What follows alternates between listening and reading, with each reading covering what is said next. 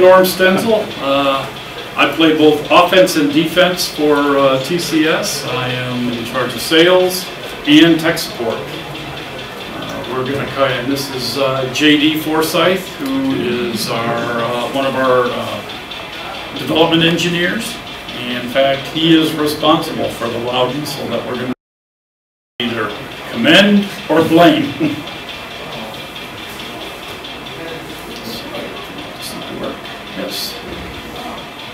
Wow Sound Decoder comes in uh, presently two formats. We're working on the third format for it right now.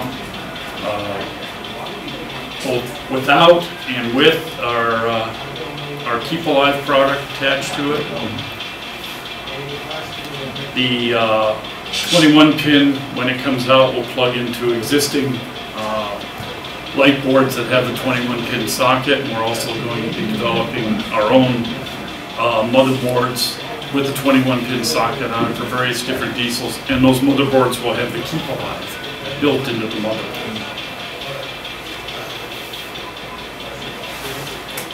Uh, The WOWDiesel, which is what we're covering today, features over 30 horns, 30 individual bells, multiple prime movers. There, in this particular one, our first release is going to be all EMD.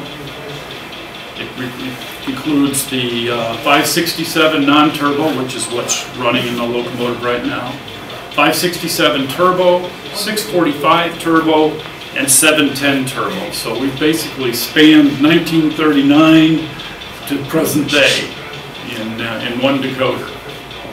Now, each one of those decoders, I put the little note on the, on the slide, can actually be made into a dual prime mover. And when we do a dual prime mover, there are two complete sets of recordings playing.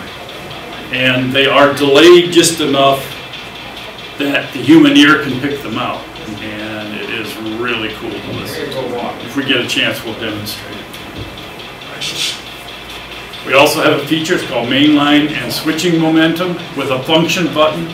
You can change the acceleration and deceleration uh, of your locomotive.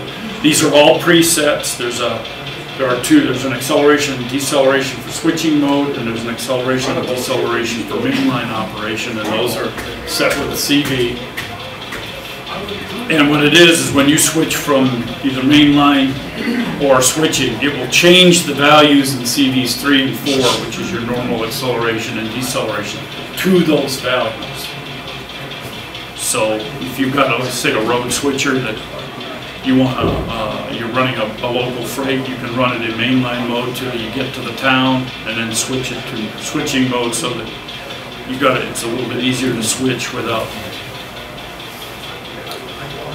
Throttle operating modes, we've got three different uh, operating modes we'll be demonstrating mainly in prototype mode. Prototype mode uh, is, you will set the speed with your handheld, but the decoder will decide what notch the prime mover should be based on how hard the locomotive is running. Uh, It does this with our back EMF and it's quite effective. It is very, since no two locomotive mechanisms run the same way, we have a very simple two-step calibrating process so that you can make it run well with almost any mechanism. The second uh, throttle mode is traditional, which is something we're all familiar with. You increase the, the throttle knob and every so many speed steps, the prime mover notches up or notches down. Then we have manual notching, which is almost self-explanatory, but basically you can adjust the speed of the locomotive with the knob, but the prime mover won't do anything except you've got buttons 10 and 11 will notch it up or notch it down as you decide. One nice thing is manual notching is always active regardless of if you're in the other two modes and you hit a hill and it's not going as fast as you think, or the prime mover's not in the notch you think it should be, you can notch it up or notch it down to match uh, whatever you think it should be doing. And uh, it will continue to do that until you touch the throttle, and when you touch the throttle, it will revert to what it thinks it should be. Uh, Prototypical braking, uh, this is the same braking that we have in the Wow Sound Steam decoder. Press the brake button, it's a 20% brake application. Every time you press it, you get another 20% brake application, just like, it's similar to the way prototype brakes work. If you're heading for the edge of a table or a brick wall or some other disaster, pump it five times and it stops But I'm pretty sure two inches. When the, the emergency brake. Yeah, well, well, if you hit emergency, like if you got a Digitrax throttle, it stops right now. But, uh 'cause cause that, that's a digital stop. But if this, uh, if you use the brake to stop, you pump the brake five times and it stops right.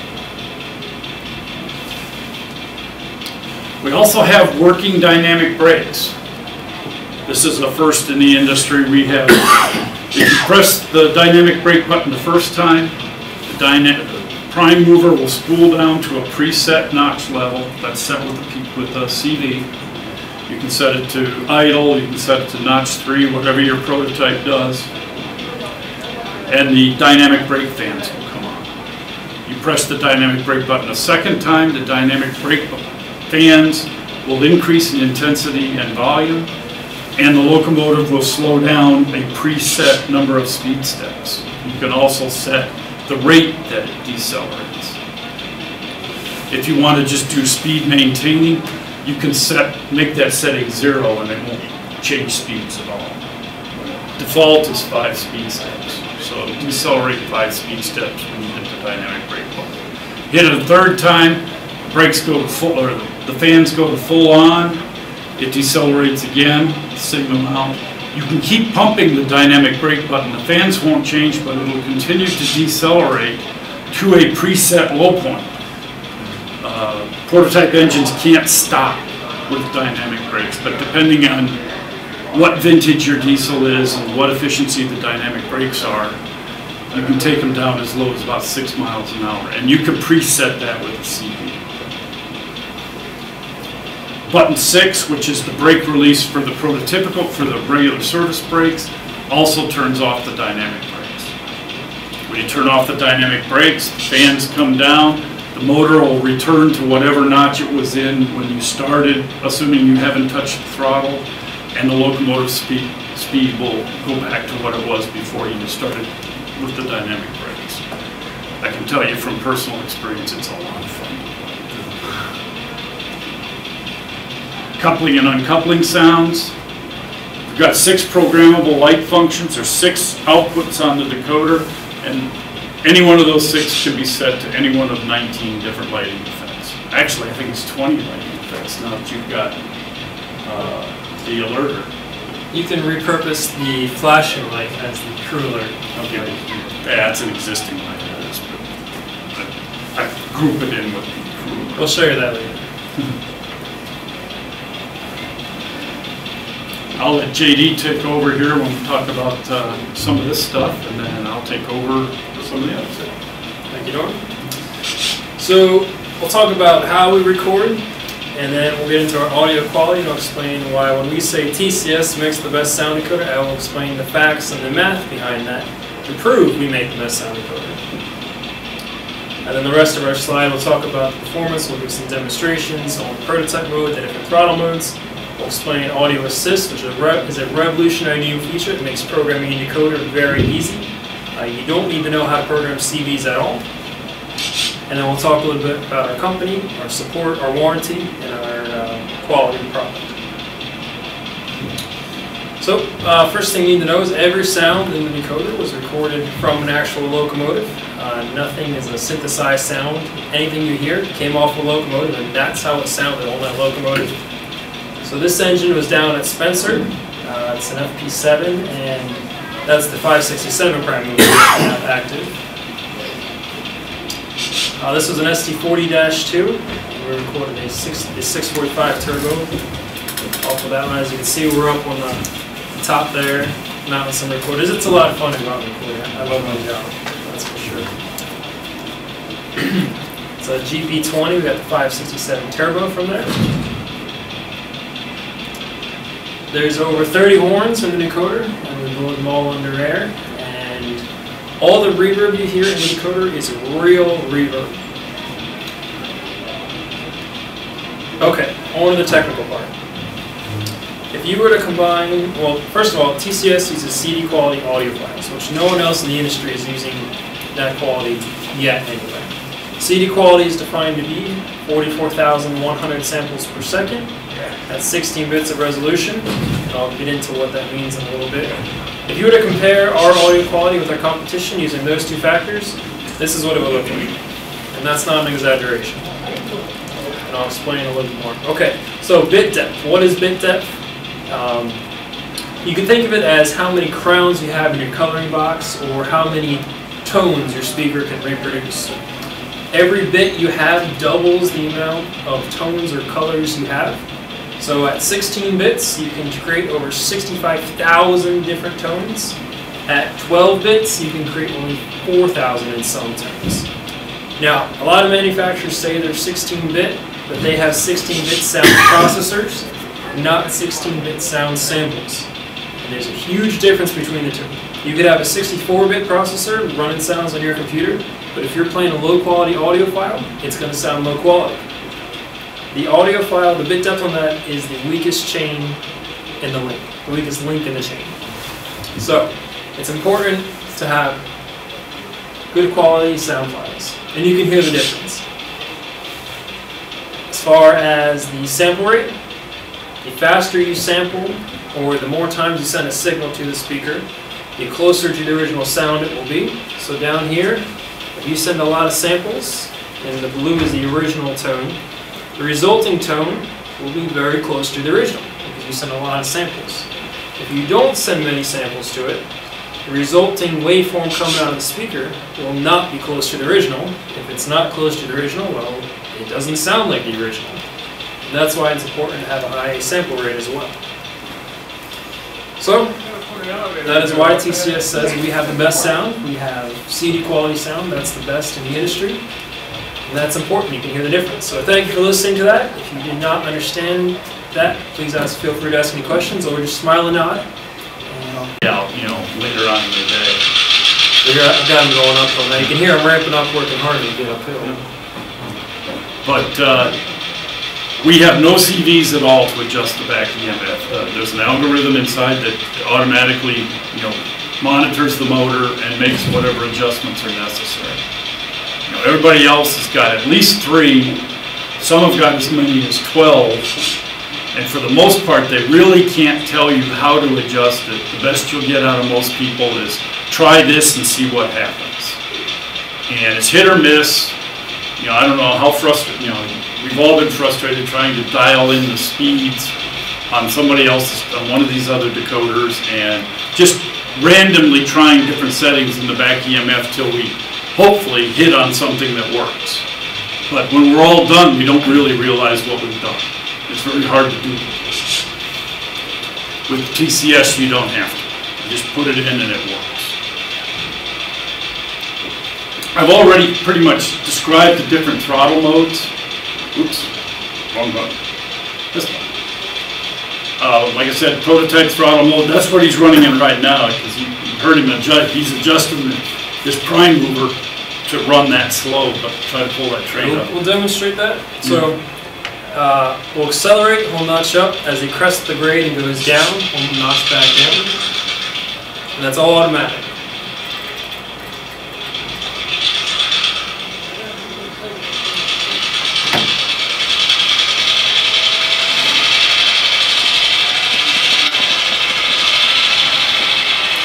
Up, we're cresting the grade, starts to notch back down.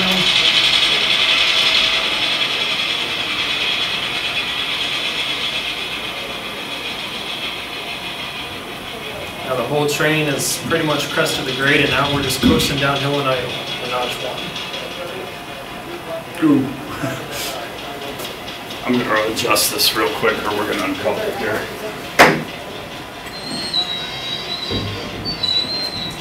The brakes on. Great, I got the train right in my way.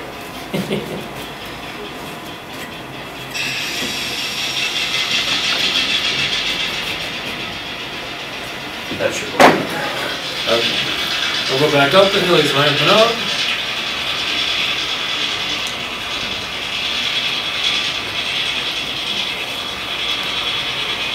Crest of the grade starts ramping down.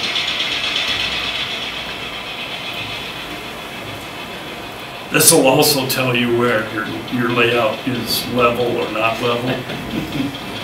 I had, I ran it on mine and got a great discovery as to places I didn't know I had grades.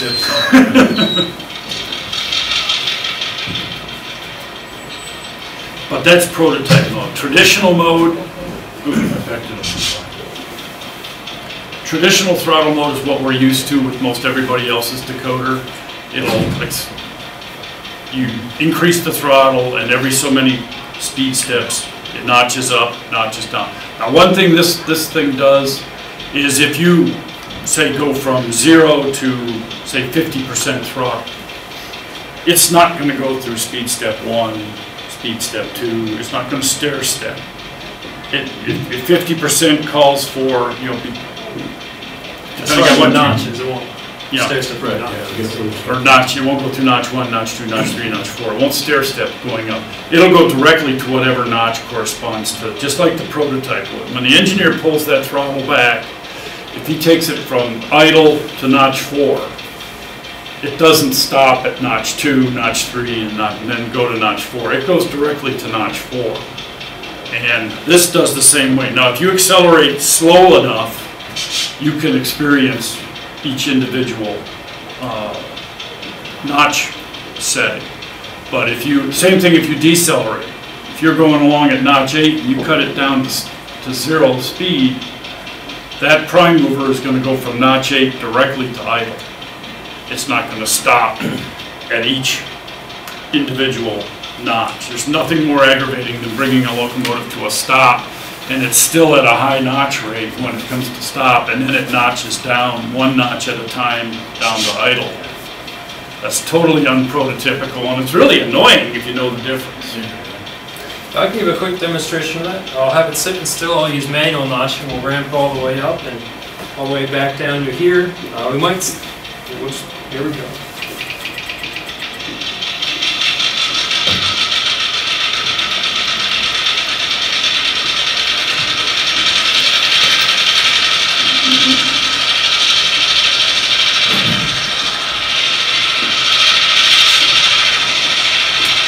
And we'll ramp back down.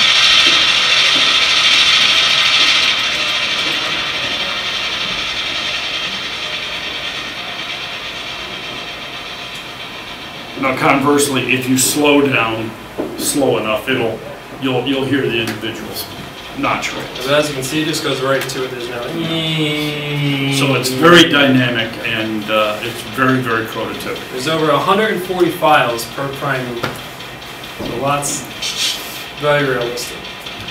Then manual notch mode uh, is what he just demonstrated, uh, just using the buttons. And manual notch is active all the time, so you have basically, you can play with it to your heart's delight. So if you hit a grade and it's in notch four and you want it to be in notch eight, you just notch it up with the, with the manual notch buttons and just go screaming up the grade, but you can go up the grade at four miles an hour in notch eight you crush the grade, you can pull it back, just like the real engineer.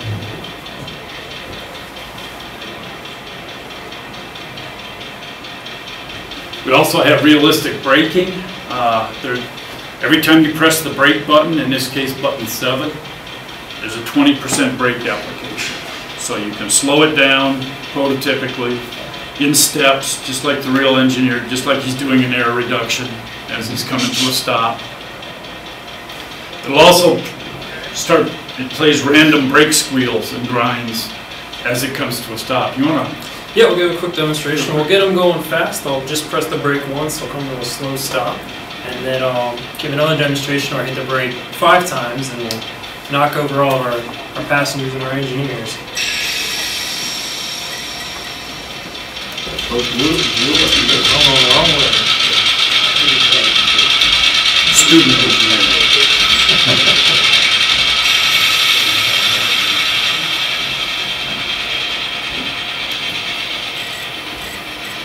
Let's try that again.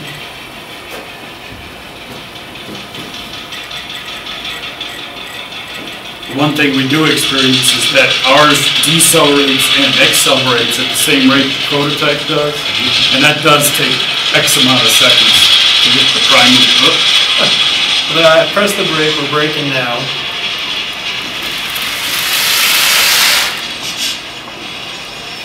So you can see that was more of a slow stop. That just 20% brake application.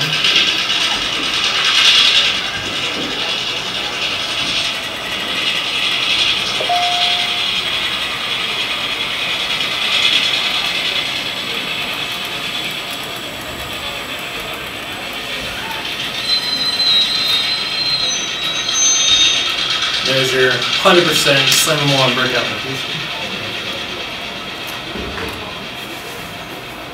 application. Now, you want to try uh, demonstrating, rather than me just describe the dynamic brakes, you want to try? Yeah, we'll just demonstrate them. We'll, uh, we'll wait till it's coming down and I'll put the dynamic brakes on. Oop, I'll screw on the wrong way. Trained yet? Amateurs.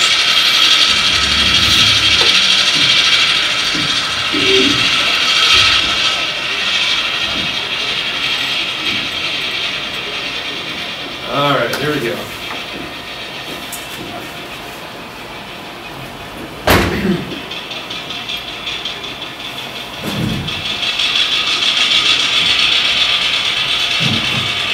Now put the dynamics on.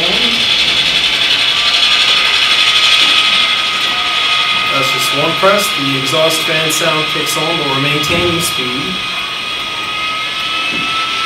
Another press, the fans kick on, the prime mover, prime mover notches up again for more braking power. We'll start to slow down. And we'll come to a complete stop with our train brake.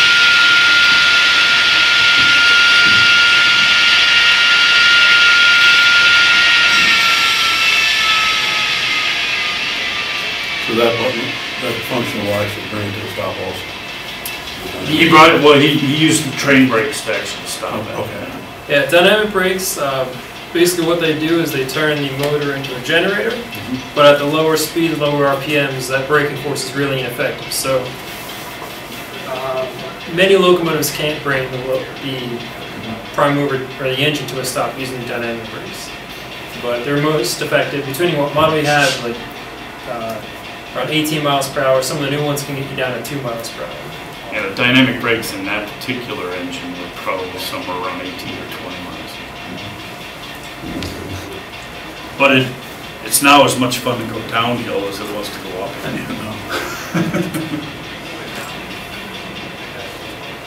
Keep alive. Yeah, don't do anything, I just, So that's when I had that. Yeah, but, yeah, I've used people, I've. What's the miniature lighting or, no, this is Wow Sound, huh? TCS Wow Sound. Oh, are you doing it now or? Yeah, it started at 1 o'clock. Oh, it did? Oh, okay. Oh, sorry, I didn't want to. That's not a problem. Yeah, so keep alive, it's like a battery backup. It's um, great if you have spots of dirty track or your engine's going through a switch and it won't do that. Know, it's, when you're, it's, it's really annoying when you're running along and all of a sudden you get by a dirty track and all of a sudden your prime mover's starting over, it turns on, that's kind of ramp all the way up. Keep alive will keep it from doing that. It'll just keep you powered right through those spots. So it's great for brass engines, um, if you have poor power pickup, or trolleys with overhead wires. Um, TCS sells uh, two Keep Alive products, and they're compatible with any other manufacturer's decoder. Uh, you just have to know how to hook them up. The blue wire, there's two wires in the Keep Alive.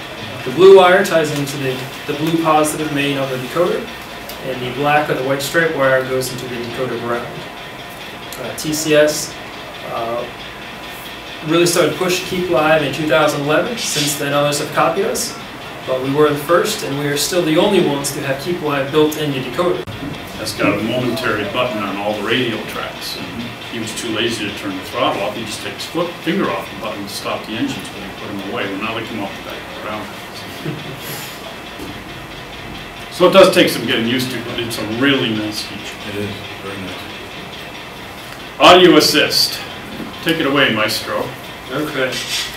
I'll bring the engine back down here. Uh, basically what Audio Assist is, you hit button 8 four times and the encoder talks to you and tells you how to program it.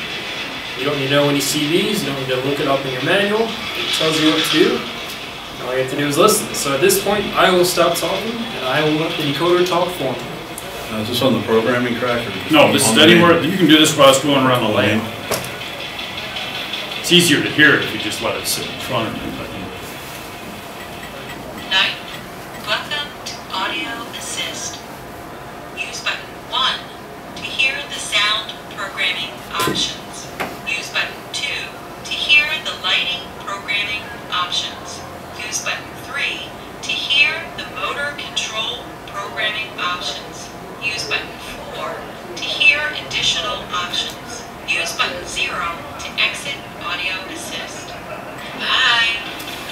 see, there's a lot of things you can do, and I'll just highlight some of them, and I'll give you one or two examples. Uh, may I have a pointer, please? Thank you, Norm. Okay, so uh, over here, and this is in the literature that comes with the decoders as well, so you can uh, use it as a reference guide. Uh, but once you get used to Audio Assist, you can program things really fast. Um, I'll, I'll give you a demonstration of that, but you can interrupt it. You don't have to listen to the lady finish talking. I wish I could do that on my wife. Sorry, wife, if you're listening, I love you. But you can interrupt her and you can program things really quick. So here's what some of the things you can do. On the sound programming menu, you can set your the master volume. You can set the type volume. By type, I mean you can set the volume of just all the whistles or just the bells. Um, you can also make any sound play on any button. If I wanted to, I could have a different bell on every single button or a different horn on every button. You can totally customize your throttle, and you can do that in Audio Assist. Uh, on the lighting menu, you can program your lighting effects. You can remap lighting effects, so if you don't want the green wire to be controlled by function 1, you can put it on function 5, and you can make it a Mars light. You can do it any way you like. Uh, in menu 3, you can calibrate the locomotive for prototype mode. Uh, I'll explain, I'll give a demonstration on that one's really neat when we get to it. Uh, you can also do speed matching in the, in the motor menu. Uh, there are user presets, which are like alternate factory defaults, but you can set it up. So let's say I'm running Norton's layout, and he was running Baltimore and Ohio that day. I'll set everything up for B and O. But on my layout, I like Pennsy, so I'll run Pennsy on my layout, and I can have the two in presets with couple presses of a button, switch back and forth between the two. Uh, you can also do some individual resets. You can select a prime mover, and you can make the prime mover dual enabled if you have like an E8 locomotive. You can do all of the audio assist. So, again, enough of me. Uh, let's let the decoder talk. Um, I will change the lighting effects. I'll make the headlight a Mars light or something like that. So here we go. We'll enter audio assist mode. Now, welcome to Audio Assist. Use button 1 to hear the sound programming Oh, here we go. Use button 2 to hear the lighting programming options. That's what we want. Use button, use button 1 to set up lighting effects.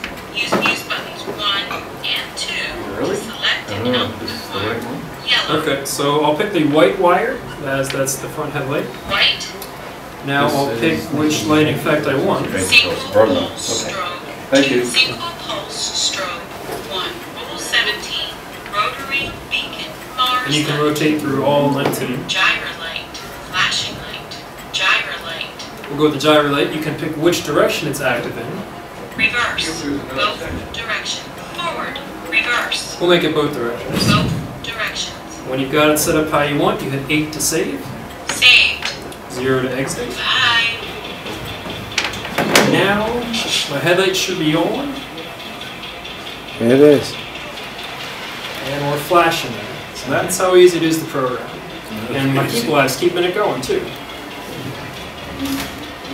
So that's how easy it is to reprogram your lighting effects. You can reprogram your sounds just as easy. And now I'll give a demonstration of calibration. Uh, in prototype mode, as you saw earlier, it uh, automatically picks what notch it should be in based on the load. So you can calibrate. So let's say you want it to be in odd shape when it's running with four cars up the hill. You can set it to do that, or you can have it be shake when just the engine's going up the hill. So I'll go ahead and I'll show you how to do it. Now, welcome to Audio Assist. We'll go right to the motor menu.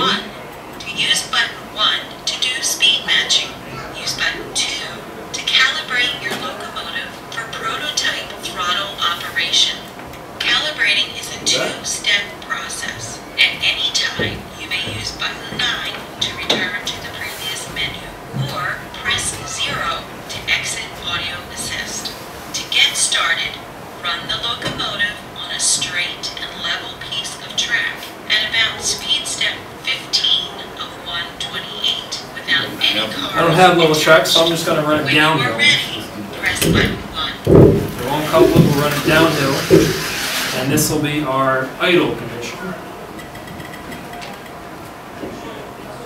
Calibrating is a two.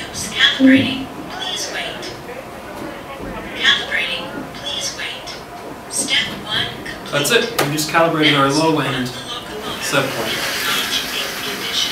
to calibrate the high end or the non-shake condition, we'll With a head run up a hill with a When train. the locomotive is ready, press button two. Calibrating, please wait. Calibrating, please wait. Calibration complete. Use button five.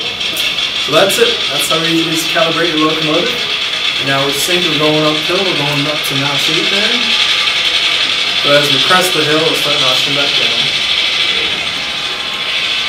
That's our calibration tool. There he goes.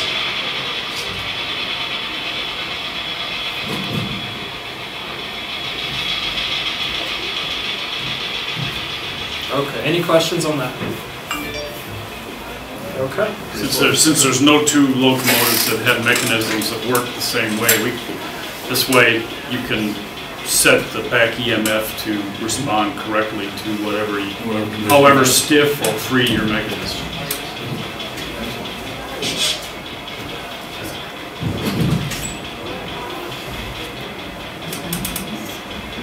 There- Like we said earlier, there's over 30 bells and 30 horns in the, in the locomotive, and you can rotate through those without even going into audio assist. It's just a function button. Yeah, I'll show you that, and we'll switch it up a little bit. I'll put this guy on. This has the 645 prime mover active, so you can hear some of the different prime movers.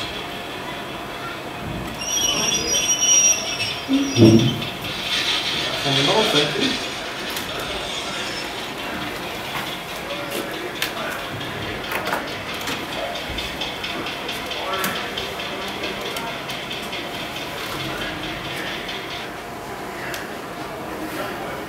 You already have this in the cup.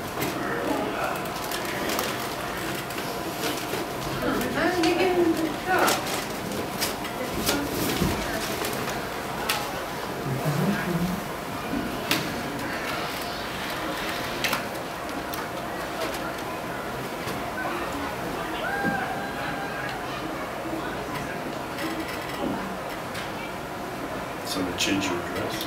Looks like it. Yeah, that one might be on three.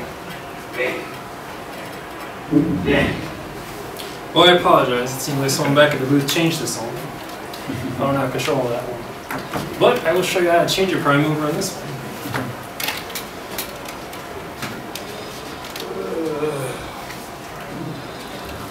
Apologize for that. Well, I'll show you how we use just go back into audio assist. Now, welcome to Audio EMD 710 Turbo Charge. I know the menu's fast, so I just skipped right to it, and I can rotate through all of them. EMD 645 Turbo Charged. EMD 567 Turbo Charged. EMD 567 Non-Turbo. EMD EMD 645 We'll the 645. Now we have a turbocharged 645. Alright. Show that off a little bit and then we'll go back to the horns. Do it again. I need to go back to engineering school. Student engineer.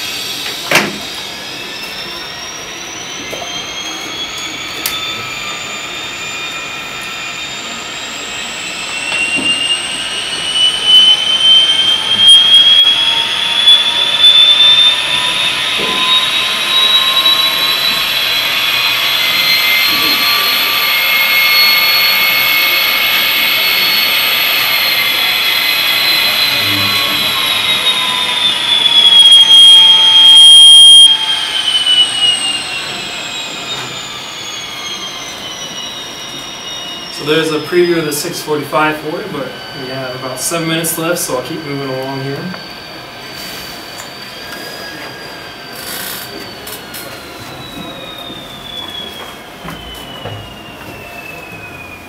Okay. So we'll give a demonstration of the horns. On uh, button two, it plays the horn as long as you hold it. Button three is a short tune. And four plays a pre-recorded grade crossing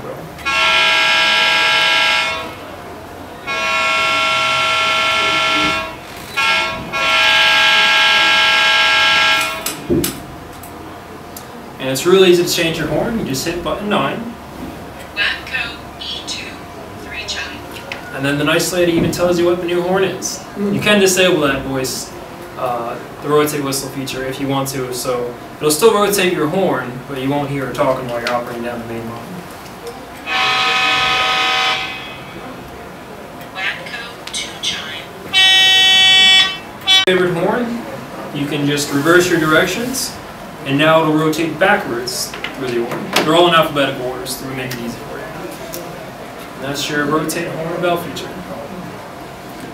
Light mode, sound mode, I'll go over this real quick. Uh, Especially with diesels, guys are putting lights in everything on a diesel. You know, headlights, cab lights, step lights, marker lights, rotating beacons. But you, if you have a sound decoder, what buttons do you use for lights, what buttons do you use for, for sounds? Well, with light mode, sound mode, you don't have to make that decision. All the buttons are available for lights and all the buttons are available for sounds. Press button eight twice, it'll go from sound mode to light mode. Press it twice again, it goes from light mode to sound mode. In whatever mode it's in, all the buttons are dedicated to either sound or, or lights. You can also make some sounds and lights dual mode, so they'll work in either one. Uh, On the steam decoder, we make the generator and the headlight go on together. Now, if you have a tablet and you push the eight button, will it change the screen of what is horns or lighting? Uh, that I couldn't tell you, I don't know. Uh, Okay. I've Are you never- using a tablet as a throttle? Yeah, yeah, That'll- yeah, you got the JMR, you can use it on the. I'm not sure what the J, I- I've never used the JMRI It shows tablets. like lighting, horn and everything, and I know if you said to hit the button, will it change the lighting? I don't think so, because it's just Okay. treating it as a function button. Oh, okay, I got you. It's suggested to JMR, I'm sure they could do it, but at this Yeah, point it does yeah, not. right, yeah. But this allows you, basically, all your buttons are available to do anything you want uh, in, in either column. Right. And uh, you can make some dual service. Well, In fact, you can make all of them dual service. This thing will bring up twenty-eight buttons. Yeah, Yeah, you know, you. you can, uh, and you can remap all this stuff to any one of those 28 buttons. Right. Uh, We do have an online program, this is on our website, an online programming tool. There are some uh, things in this thing that are not in uh, Audio Assist, and they do have CVs to adjust them. Uh, We use index CVs for those. It's a combination of four CVs, 201, 202, 203, and 204. That gives us thousands and thousands of combinations, uh, and we've used quite a few of them. Uh, this is not a programming, it's not a programmer, it's just basically a calculator. You just pull down menus to figure out what you want to set it to, and it tells you what values to set those to.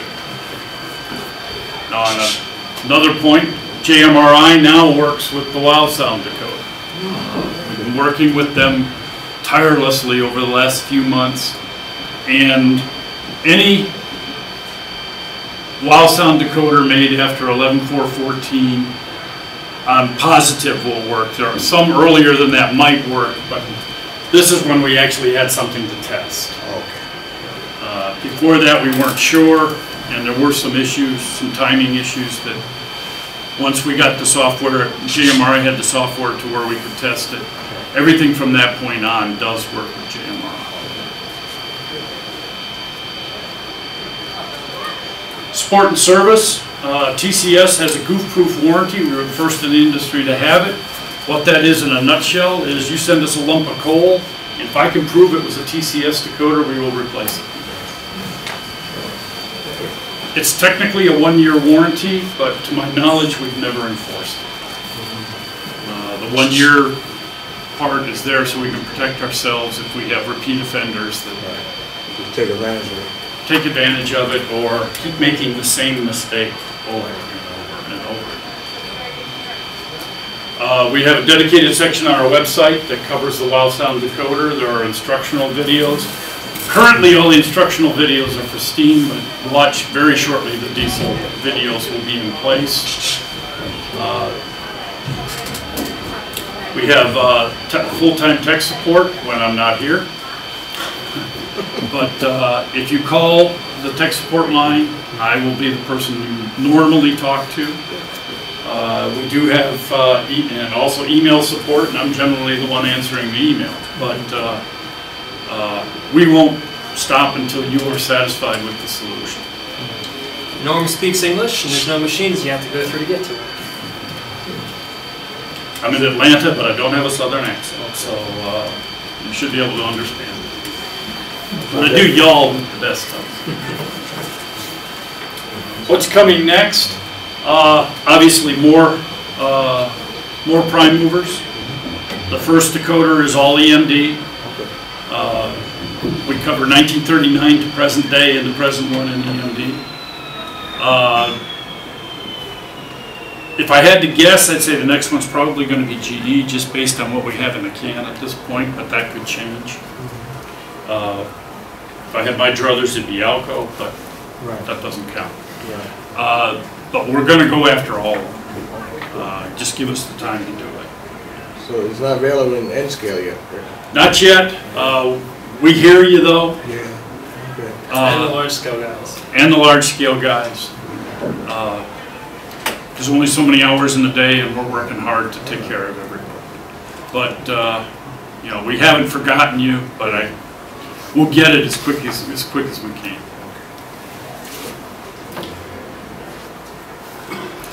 Uh, That's it, I'm open to questions, and then we'll get out of the way. Yeah, we'll- I'll start packing up. We welcome any questions.